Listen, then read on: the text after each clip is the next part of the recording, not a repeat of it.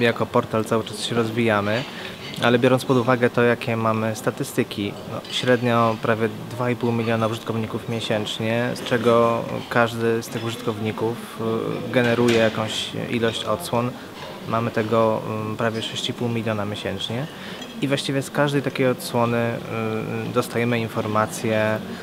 co użytkownika interesuje, co internauta klikał, co czytał, z jakiej kategorii, czy to są wiadomości, czy to jest kultura, styl życia, czy słuchał radia, czy woli e, odtwarzać podcasty, czy woli na przykład czytać artykuły, więc tych informacji gromadzimy mnóstwo. To, o czym dzisiaj wspominali e, paneliści, właściwie to, co z tym zrobimy dalej, to jest w tym momencie e, ten śpiew przyszłości i jak te dane wykorzystamy.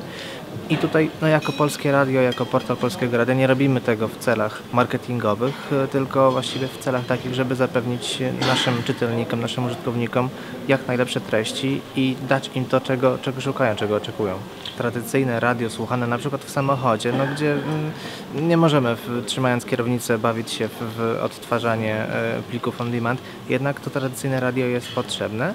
ale to samo BBC, które ma ten bardzo duży y, y, ruch na żywo, tworzy coś takiego jak spersonalizowany y, player radiowy, gdzie użytkownik sam może sobie dobrać na przykład, które audycje, które podcasty, czy też audycje na żywo będą go interesowały. Więc myślę, że tych dwóch kwestii nie będziemy w stanie rozdzielić w pełni, bo zawsze jednak jest ta przestrzeń radia słuchanego na żywo, tego tradycyjnego, czy to będzie radio FM-owe, czy dabowskie, które jest w mniejszości, ale istnieje, a inny użytkownik, czy nawet ten sam, jednak z tego radia internetowego będzie korzystał, bo ono ma inny charakter odbioru. To jest właśnie